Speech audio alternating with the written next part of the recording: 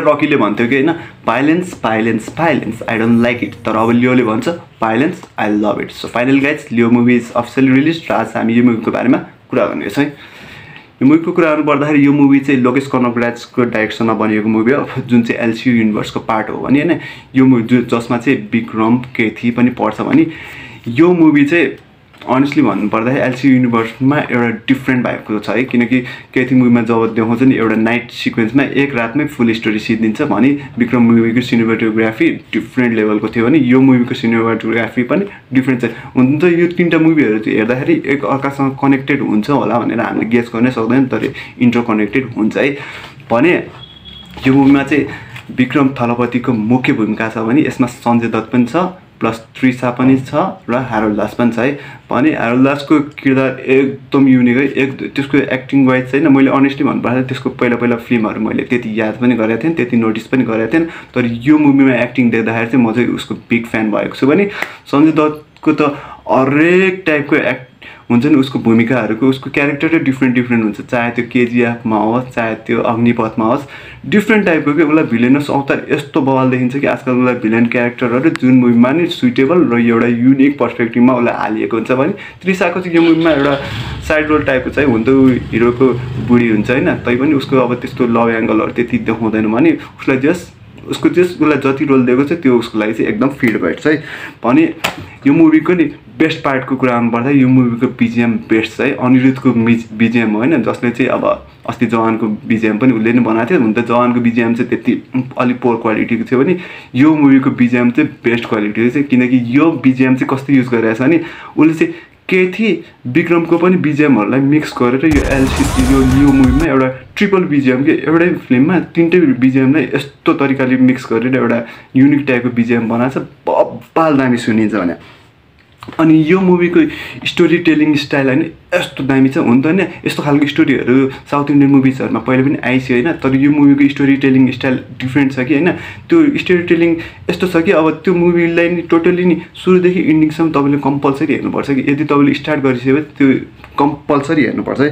भने यो मुभीको कलर ग्रेडिङ के कलर ग्रेडिङ हुन्छ नि एउटा ब्लुइस टाइपको कलरमा यस्तो दामी कलर ग्रेडिङ खेलाएको छ होइन सिनेमा फोटोग्राफी जसले गरेको त्यसले कलर ग्रेडिङ खेलाएको स्टाइल देख्दाखेरि एकदम फ्यान हुन्छ भने होइन यसमा देखाउने एक्सन सिक्वेन्सहरू होइन।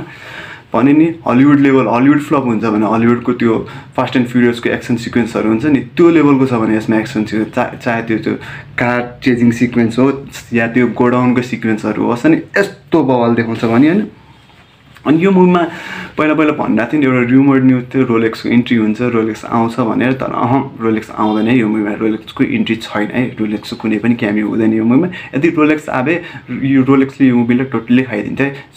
द्याट्स वाइ होइन यो मुभीमा रोलेक्सको इन्ट्री नगर्नु चाहिँ बेस्ट डिसिजन लिएको है डाइरेक्टरले र यो मुभीमा एउटा सरप्राइज इन्ट्री सिन पनि छ जुन चाहिँ अब तपाईँलाई मैले रिभिल गर्नु मिल्दैन होइन।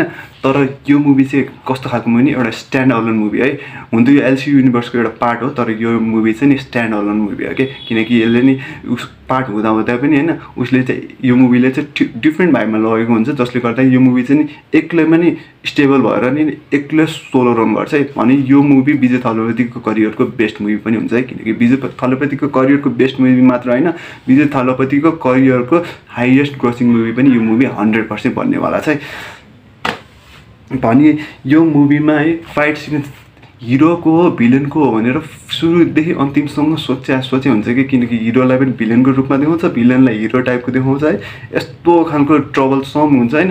मान्छेहरू डिलेमा फसिन्छ कि के भइरहेछ कहाँ के भइरहेछ बुझ्नै गाह्रो हुन्छ। त्यही भएर यो मुभीलाई डाइरेक्टरको एउटा क्रिएटिभिटी हो कि टोटल्ली टु आवर्ससम्म चाहिँ बाँधेर राख्नलाई। अनि अनि हिरोको चाहिँ एउटा सिक्वेन्स चाहिँ के हुन्छ भने उसले चाहिँ आफ्नो फ्यामिली बचाउनलाई उसले भाइलेन्सको बाटो रोजेको हुन्छ जसले गर्दाखेरि चाहिँ उसको त्यही क्यारेक्टरमा ऊ एनालाइज हुँदै हुँदै गइरहेको हुन्छ। भने यो एउटा चाहिँ कस्तो खालको मुभी हो नि एउटा सस्पेन्स थ्रिलर टाइपको मुभी पनि है। Full a fully action suspense र थ्रिलर टाइपको मुभी तपाईँहरूलाई हेर्नु मन लाग्छ भने यो मुभी तपाईँहरूको लागि बेस्ट हुन्छ। र यो दसैँको लागि यो जस्तो तपाईँहरूको लागि बेस्ट गिफ्ट केही पनि हुँदैन है। यदि तपाईँहरूले यो मुभी हेर्नु भएको छ भने एकचोटि गएर हेरिहाल्नु होइन? भने यो मुभीको अनेस्टली भन्नुपर्दाखेरि होइन भाइब्स होइन?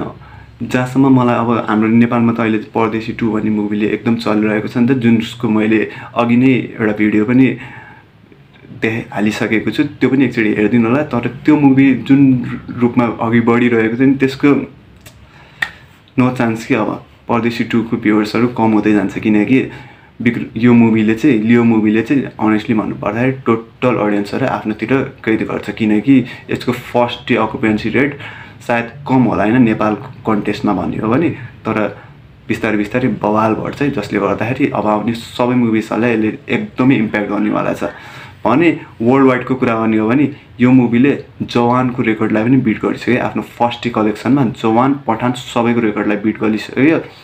भने इन्डियामा त अब कतिपय ठुल्ठुलो मल्टिप्लेक्सहरूमा यो मुभी रिलिज हुनै पाएको छैन किनकि थर्टी डेपछि यो मुभिज फेरि आउनु लागेको छ नि त टिभीमा त्यसले गर्दाखेरि यो मुभिज रिलिज हुनु पाएको थिएन। यदि इन्डियामै यो मुभिज सबै मल्टिप्लेक्सहरूमा चलेको यसले मिनिमम पनि दुई सय करोड कमाउँछ। तैपनि होइन यो मुभीले यति चाहिँ म ग्यारेन्टी भनिदिन्छु होइन। आजको फर्स्ट डे कलेक्सनमा यसले हन्ड्रेड फिफ्टी करोड क्रस गर्छ है। सो यदि तपाईँहरूलाई यो मुभी हेर्नु भएको छैन भने एकचोटि हेर्नुहोस् वान टाइम वाचेको लागि चाहिँ यो मुभी एकदम बेस्ट हुन्छ है र फर्दर यो यस्तै खालको न्युजहरू र यो मुभिजको बारेमा फर्दर न्युजहरू आएको खण्डमा म यो च्यानलमा पक्कै पनि सेयर गर्छु till then take care and bye र मेरो अलिअलि गल्तीहरूलाई चाहिँ माफ गरिदिनु